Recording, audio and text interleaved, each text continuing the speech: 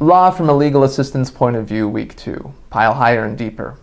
Last week I reported that I am a complete neophyte when it comes to the practice of law. This is my second week as a legal assistant, and that remains true this week. There have been several surprises as to the ins and outs of the legal system. One of the most surprising to me is the amount of paperwork that goes into a legal proceeding. The sheer number of papers that must be piled up and continue to pile up in the record rooms of courts and law offices and the storage space on the servers is staggering. My boss asked me to document my observations during this time, a once in a lifetime time, while I see with fresh eyes.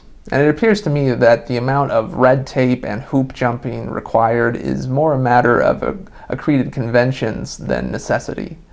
Many documents or processes that may have had a purpose in the past have outlived their usefulness.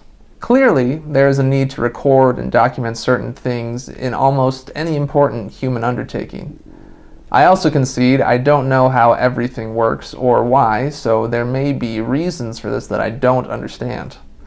But as I am experiencing it, the amount of paperwork seems inexplicably and unnecessarily slow, duplicative, and burdensome, and as a result, unnecessarily expensive.